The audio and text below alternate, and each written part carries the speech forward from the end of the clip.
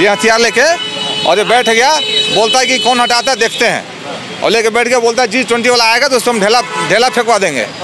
बोलता है कि मंदिर हटवाइए, तब हम ही हटाएँगे। लेकिन इन्होंने बोला कि जो हटाएगा, एक कट्टा है मेरा, उसका हाथ काट लेंगे। जो पहले मेरा काउंटर छुएगा उसका हाथ काट लेंगे। और और तो और ये जी ट्वेंटी पे पत्थरबाजी करने की बात कर दिया इन्होंने।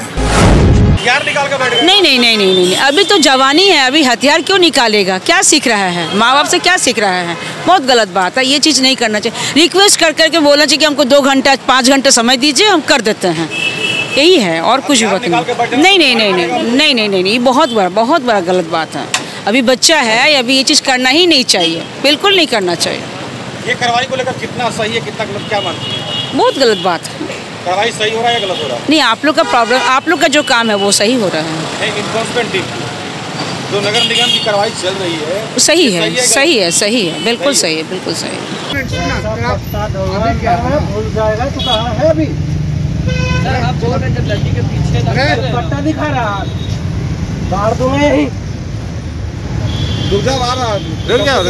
आ रहा है। अभी गाड़ी आ रहा है।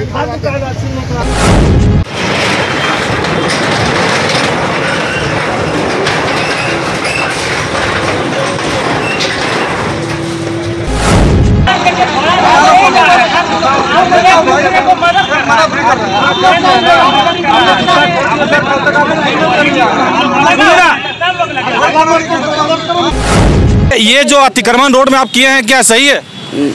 सर आप हम लल्ली के पीछे थे इसी चलते कर रहे थे। लल्ली के पीछे है कर रहे सर। पीछे है? इन लोग इसका इसका क्या भाड़ा देते हैं क्या आप? इसका भाड़ा देते हैं? भाड़ा देते हैं। उसका भाड़ा देते हमको हमको एक बात नहीं समझ में रंगदारी वाली बात कहाँ से आ गई? नहीं सर, गलती हो गलती हो गया। हमारी से गलती हो गया, सर। सॉरी सर हम खोल दे रहे सर। तो मामला क्या है, हम बात करेंगे अधिकारियों से। सूचना हमें यही मिली है कि जैसे ही इन्फोर्समेंट टीम के यहाँ पहुँची हुई है और ये कांटा निकाल करके बैठ गए हैं कि देखते हैं कौन हटाता है हमारी दुकान को। जैसा कि आप सभी को पता है कि अतिक्रमण मुक्त लगातार विभिन्न क्षेत्रों में किया जा रहा है तो आपको हम बता दें, ये कडरू का दृश्य है। इस वक्त आप साफ़ देख सकते हैं। और भारी संख्या में यहाँ पे जवानों की भी तैनाती की गई है तो वहीं इन्फोर्समेंट टीम के अधिकारी इस वक्त यहाँ मौजूद हैं। हालाँकि यहाँ ज़रूर आपको हम बता दें, इनका ऑलरेडी दुकान है। आप तस्वीरों में साफ़ देख सकते हैं कि इनका ऑलरेडी दुकान है। दुकान के बावजूद बाहर में ये दुकान लगा करके यहाँ बैठे हुए थे। और जो दुकान एक्स्ट्रा है, जो दुकान से एक्स्ट्रा इन्होंने जो फैला कर रखा हुआ था, उस पर इन्फोर्समेंट टीम की कार्रवाई चल रही है। जो इस वक्त तस्वीरों में आप साफ़ देख सकते हैं।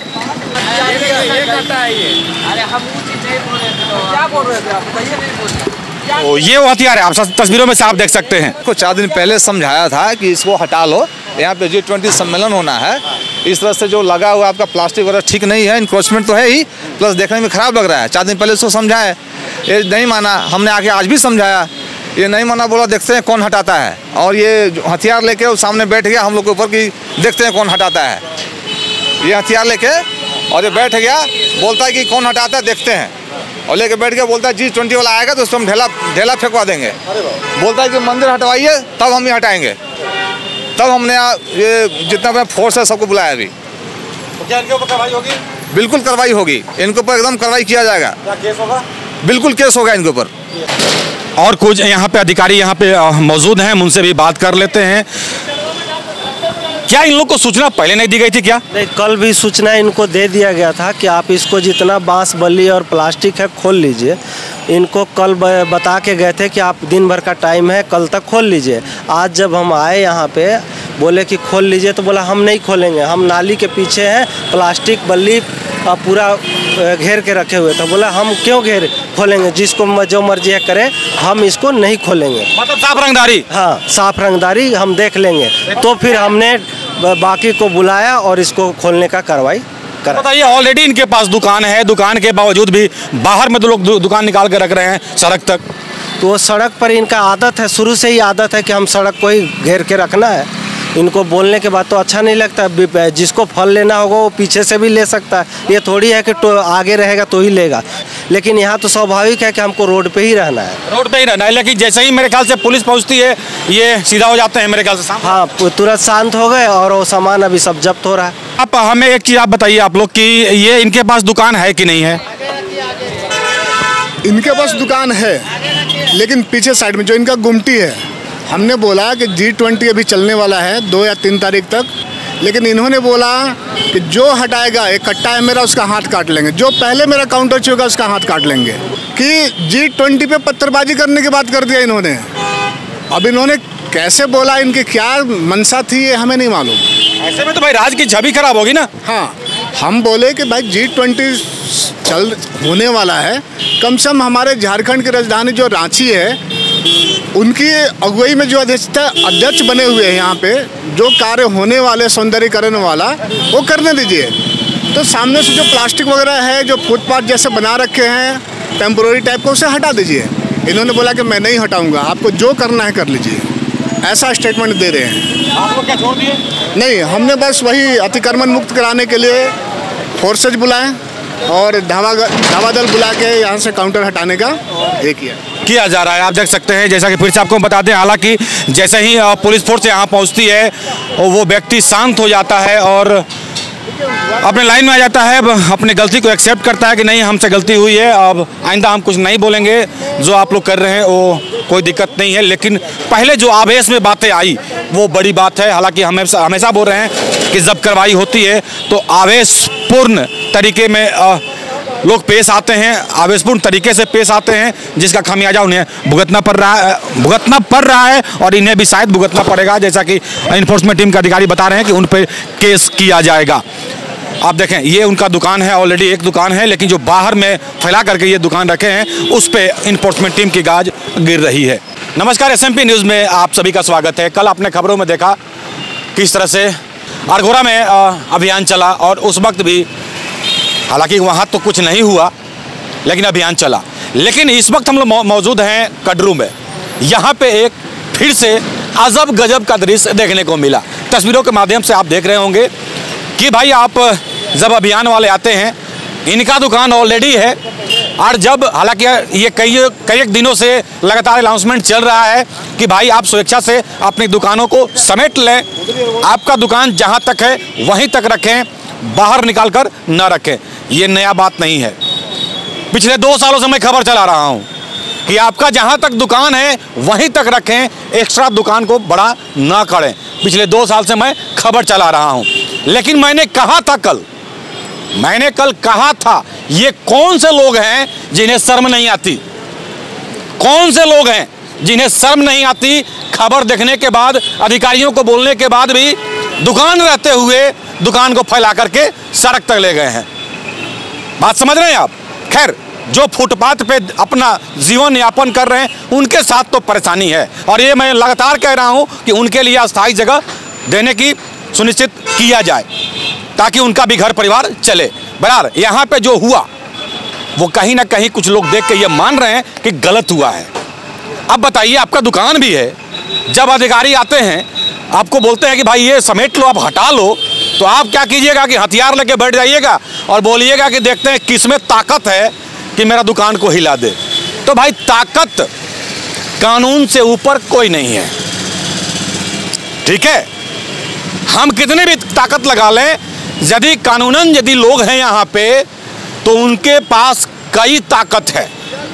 आपको भारी पड़ेगा। और यहाँ भी भारी पड़ता हुआ दिख रहा है आज यहाँ पे जो कडरू में अभियान चला है आ, कुछ अधिकारी हमारे साथ हैं हम बात कर लेते हैं। यहाँ पे अभियान आप लोग चला रहे हैं। क्या इन लोग को पहले से नहीं बताए थे? दस दिन से बता रहे हैं और अनाउंस भी तीन चार दिन से किया जा रहा है लगातार। लेकिन ये लोग बात नहीं मान रहे हैं और उल्टा ही ये बोल रहे हैं फिर बाद में कल देख ही लिए आप। बूढ़े आदमी बोलता है कि ऐसे बोल रहा है। मतलब हल्के में लोग ले रहे हैं। हम्म। एकदम हल्के में ले रहे हैं इसलिए इनको फिर दिक्कत आ रहा है। तो ये हल्का में लेने वाले यहाँ भी तो हो गया कि सुनने में आया कि हथियार बै- बैठ गए थे। हाँ हथियार लेके बैठ गए थे और हथियार वो अपना दिखा रहे थे। बाजू काट लेंगे दुकान छुएगा तो। हाँ डर- कि डर के मारे ये लोग हट जाएँगे। अच्छा आप लोग डर के मारे भाग जाइएगा। क्या भाग गए आप लोग? नहीं तो ये चाकू छुरी से हम लोग को क्या घबराना है? ये तो खिलौना है चाकू और छुरी हम लोगों के लिए। चाकू छुरी खिलौना है। और भी कई लोग हैं हमारे साथ। चाकू छुरी खिलौना है। हालाँकि आप लोग तो बॉर्डर से आए हुए हैं। एक्स मैन आर्मी है, फिर से आपको हम रिपीट कर दें। ये जो इस वक्त आपको खाकी वर्दी में दिख रहे हैं, कभी देश का सेवा कर चुके हैं बॉर्डर पे बर्फीलो। तूफानों में खतरों से खेलकर यहाँ पे आए हैं, जो आपकी अभी सेवा कर रहे हैं। एक्स मैन आर्मी है। सर्विस तो आप लोगों ने छोड़ दिया। रिटायर हो गए आप। लेकिन बताइए, ये मामूली सा हथियार लेके कोई हथियार से हम लोग को कोई डर नहीं है। हम लोग बहुत हथियार से खेले कोई अगर हथियार लेके भी आए, उससे हमको डर नहीं है। वो हथियार से हमारे को नहीं मार सकता है। लेकिन क्या है हमको जनता को देख के चलना है। ये नहीं है कि हमको जनता को धमका के चलना है। हम जनता को लेके जनता के फेवर में काम करना है। इसलिए हम उसको बोले कि भाई तुम जो भी है, प्लास्टिक और नाली से उधर अपना सेफ़ करके अपना गुमटी के अंदर अपना दुकान करो लेकिन फल का दुकान था क्या? फल का दुकान था। अच्छा। और काउंटर बना के ऊपर फल लगाए हुए था। ऑलरेडी तो गुमटी ऑलरेडी है। ऑलरेडी गुमटी था और उसके ऊपर पूरा बाँस लगा के वो पूरा बनाए हुए था स्ट्रक्चर तो बोले ये स्ट्रक्चर को तोड़ दो अभी जी ट्वेंटी तक। तो बोला हम जी ट्वेंटी में पत्थर भी मरवाएँगे। तो फिर हमने एक्शन लिया इसके ऊपर और जम्मू कश्मीर करने वाला है क्या यहाँ पे? तो फिर हमने उस पर एक्शन लेकर और उसको पूरा जब्त कराया। हथियार से क्या आप लोग डर गए थे क्या? क्योंकि इसको भारी पड़ने वाला है। नहीं नहीं, हथियार से डरने का सवाल नहीं है। मेन यहाँ देखा जाए तो पब्लिक अगर देखेगी कि आम एक इंसान, एक फुटपाथ वेंडर अगर हथियार लेके खड़ा हो रहा है हम लोग के सामने तो ये क्या कहीं ना कहीं एक संदेश दे रहा है लोगों को कि आप भी हथियार लेके खड़े हो जाओ। कुछ भी गलत करो, हथियार लेके खड़े हो जाओ। ये तो कानून गलत है ना। हथियार, उसे हमने प्यार से चार दिन पहले ही समझा रखा है कि भाई जी ट्वेंटी के चक्कर में जो भी हो रहा, सौंदर्यकरण हो रहा है, आप हटा लो। गुमटी आप है गुमटी में बेचो, कोई दिक्कत नहीं है। लेकिन यहाँ तो जो सौ वेंडर में से दो ऐसे वेंडर है, फुटपाथ वेंडर जो उनको कोई फ़र्क ही नहीं पड़ता कि जी ट्वेंटी क्या है। उनको मालूम ही नहीं है कि जी ट्वेंटी है क्या। लेकिन जी ट्वेंटी एक ऐसा चीज़ है जो देखे ग्रुप ऑफ़ ट्वेंटी बीस देशों का संगठन ही है। वो संगठन आपके रांची शहर में आ रही है। अगर आपके रांची शहर में आएगी तो एक तो रांची को धोनी की वजह से लोग जानते हैं और इस जो जी ट्वेंटी सम्मेलन है इसके वजह से लोग और जानेंगे। बीस देशों को 540 प्रत्याशी आ रहे हैं यहाँ पे रिप्रेजेंट करने के लिए। अब उसके लिए अगर हम लोग थोड़ा बहुत सौंदर्यकरण कर रहे हैं तो इसमें क्या गलत है? ये सही भी है ना भाई क्या दिक्कत है? ये फुटपाथ वाले तो है नहीं इनका दुकान है। दुकान है। हम तो वैसा हम भी इसमें भी समर्थन करें हम लगातार ये बातें कर रहे हैं। भाई जी जो दुकानदार हैं उनके ऊपर गाज गिरना चाहिए। मैं साफ़ बोलता हूँ। आपके पास यदि दुकान है और दुकान के बाहर यदि आप फैला कर रखे हैं तो आप पे कार्रवाई होना चाहिए मैं हमेशा बोलता हूँ। लेकिन जिनके पास सही में दुकान नहीं है उनके लिए सोचने की भी आवश्यकता है। लेकिन लेकिन आ, आपको हम चलते चलते बता दें क्या अब उसको महँगा पड़ने वाला है ये हथियार? हाँ बिल्कुल ये गलत है ना। जब हम लोग तीन दिन पहले उसको समझाए हुए हैं कि तुम हटा लो तीन दिन से समझा रहे हैं आज भी आके उसको समझाए हैं। समझा नहीं हो बोलता है कि मंदिर हटाइए तो ये हटाइए तो ढेला फेंकवा देंगे। मंदिर हटाइए? हाँ ये बोलता है कि सामने वाला मंदिर है इसको ये भी तो रोड पर है। इस तरह से वो बात कर रहा है। लास्ट पे फिर वो नारियल काटने वाला हो तो ले आकर बैठ गया कि किसका दम है देखते हैं।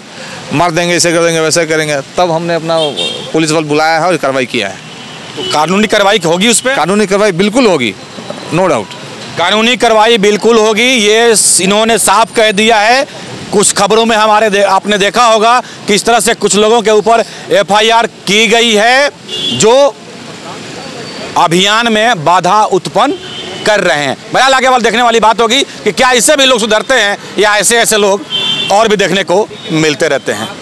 तो आज की खबर में बस इतना ही। बने रहे एस न्यूज़ के साथ। अपना ख्याल रखें, क्योंकि आपसे हम, आप है हमारी ताकत। लेटेस्ट अपडेट के लिए हमारे फेसबुक पेज को फॉलो और लाइक ज़रूर करें। तो वहीं विस्तृत खबरों के लिए हमारे यूट्यूब चैनल को सब्सक्राइब ज़रूर करें। आप सभी का बहुत बहुत धन्यवाद।